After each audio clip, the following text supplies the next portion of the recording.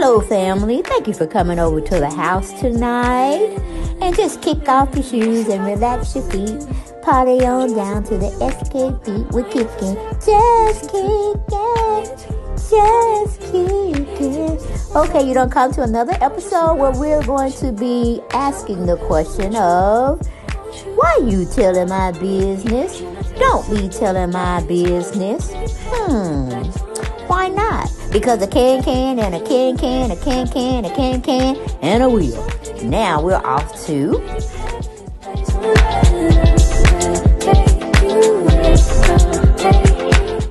Hello everyone and thank you for coming back to the channel and you see who we gonna be talking about. Yes, because she made um front page news. Yes she did. But I hope she continues to keep the health that she has. Because sometimes when people are given a lot, you know, out the blue, very quick, fast, in a hurry, they don't be around to enjoy what they call their sales have won. Okay, and I'm just saying, that's my theory. You see how we, um, what's her name? Uh, Wendy Williams was up and at the top of her game and she was talking about people and putting people on blast and this, that, and the third. And, you know, Nene was kind of hanging with that circle. Yep. Mm-hmm. The illuminated ones. And Miss Wendy went from being like that to where we see her at today. And you think that's a coincidence? No, I think that's on purpose. I think that's on purpose because she got a little bit too big for herself. So they got her looking like that now. You see what I'm saying? So Nene, watch out. What you think you got may not be something you want. But anyway, we got heavy.com. They had put an article out on Miss Nene Leakes and her case that she was uh, forging ahead with. And the person named Tom Clear, Cleary had wrote it up for us. He titled it Housewives Lawsuit against Andy Cohen settlement rumor. Okay, all of this is allegedly over here, but if it start making make sense, then it might be right. Okay. a federal judge has granted a motion to dismiss the racial discrimination lawsuit brought by former Real Housewives of Atlanta star Nene Leakes against Bravo, NBC Universal, Andy Cohen, and others. Lawyers for the two sides jointly requested a judge dismiss the case without prejudice on August 19th of this year. That means Leakes could refile the lawsuit again in the future. Okay, if there is a future. Okay, I'm just saying. For those who hear me, hear me well. For those who don't, read between the lines. All right. The court filing obtained by Heavy does not reveal any details about why the case was settled, and attorneys for both Leakes and the defendants haven't commented. According to federal court records from the Northern District of Georgia, U.S. District Judge Thomas the W. Uh, Judge Thomas W. Thrasher Jr. or Thrash Jr.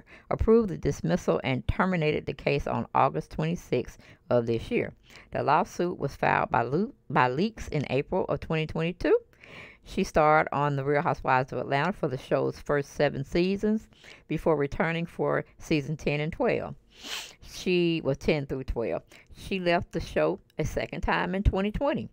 Along with Cohen, Bravo, and NBC Universal, the lawsuit also named True Entertainment, Truly Original LLC, Shari Levine, Steven Weinstock, and Lori Esklin as defendants. Leakes accused those involved with creating and producing the Real Housewives of Atlanta's franchise and other Bravo reality shows of creating and airing, creating and airing on TV racially segregated workplace in which racially insensitive and inappropriate conduct is condoned and allowed to fester, often creating a discriminatory and hostile work environment for divi- diverse talent who are working in their workplaces according to the lawsuit. Leakes also accused Cohen and other executives involved in the show of blacklisting her from working with the network after she made accusations of racism. Leakes lawyers wrote, For years, NBC and Bravo have run The Real Housewives as a segregated franchise, which or where certain shows are treated as white shows and others as black, with little, if any, overlapping or mixing between the two. The segregated nature of the franchise is reminiscent of the earlier days of separate but equal. That is, the shows are racially separated, purported, purported to be equal, but in fact they are not. Okay, there's rumors swirling that Nene Leakes received a multi million dollar settlement to drop the Silver lawsuit. The joint motion filed to dismiss the lawsuit states all parties consent and stipulate to the foregoing dismissal. No party will seek recovery of costs or attorney's fees in any submission to this court. The filing is mostly filled with procedural details and does not mention any settlement or out of court agreement between the two sides or that it will be handled through arbitration. But All About the Tea reported on August 23rd that a source said Leakes agreed to a financial settlement to drop the case. The site wrote that Nene settled for around 4.5 million hush money in exchange for the cash. Nene signed a confidentiality agreement, non-disclosure with non-disparagement clause. This means that moving forward, Nene cannot publicly make disparaging remarks about Bravo, Andy Cohen, and its production companies. Before the surprising news that the case was being dismissed, the two sides had requested time to discuss whether Leakes was legally allowed to file suit against Cohen and Bravo.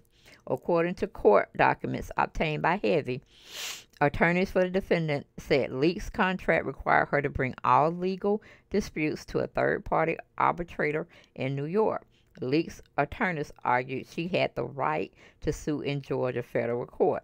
Leak's lawyers wrote in their initial filing to try to shield itself from public scrutiny of its unlawful employment related practices like those detailed here in NBC, Bravo, and All True have also required as a condition of employment Mrs. Leakes and others to submit to boilerplate, non negotiable, take it or leave it, standard terms and conditions, and arbitration provisions in order to be allowed to work on the Real Housewives show.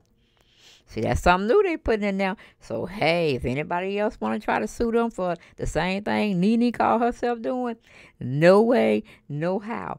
and they might go back and amend some contracts to the ones that are there that they may think might do the same thing, but it'll be across the board uh, redo over of contracts to put that stipulations or those stipulations into that contract because they ain't trying to have this lawsuit do nothing no more it don't even exist and if Nene want to continue to get her payments they paid her hush money. Okay? They pay her hush money.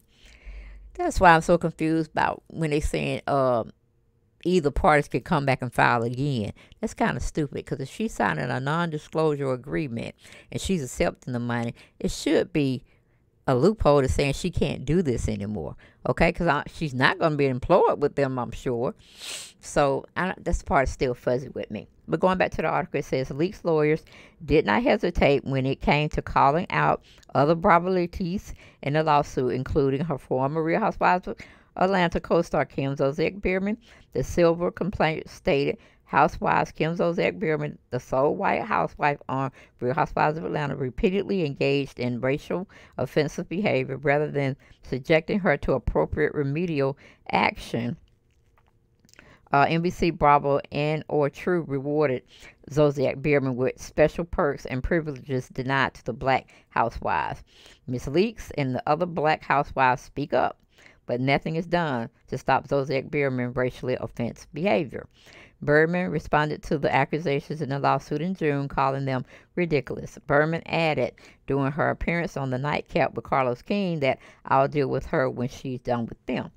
You can't say you can't say things that aren't true and try to defame somebody. The lawsuit also named former Vanderpump Rules star Stassi Schroeder and Kristen Doute. The lawsuit stated the problem is also seen on Vanderpump Rules. In 2015, there was an attempt to diversify um, by the hiring of Faith Stowers. But after departing the show, Stowers publicly expressed that she, as the only black cast member, felt treated differently than the other cast members. Among other things, she reported being subjected to inappropriate race based comments, like her hair being called nappy, and even two white cast members, Stassi Schroeder and Kristen Dutch, uh, Doute, making a false report to the police that Stowers had committed a crime. Leakes attorney added, initially Bravo did nothing. It did not publicly condemn Schroeder or Doute treatment of Mrs. Stowers, who was effectively pushed off the show. Only much later, in or about June 2020, Bravo reportedly terminated the contracts of Schroeder and Douche, Doute. All right. Now, only thing I got to say about it. Okay, we saw Wendy Williams in a very good seated position. Mm-hmm. We saw Joan Rivers up there trying to, you know, say something against the illuminated ones. And Nene gonna come away with this. And she already said that people were following her. Yes, that's what she said. And some of her, you know, YouTube videos are just on her, uh, well, not YouTube videos, but she was on her platform saying she's being followed. She want all the harassment to stop, this, that, and the third. I'm like, who following you, baby? Well, honey, they're going to definitely be on your tracks now, honey. I'm just saying. I'm just saying. But that's all I got for this video, guys. Y'all like it, love it, gotta have more. Y'all know where to come. And I'll see y'all next video. Bye-bye.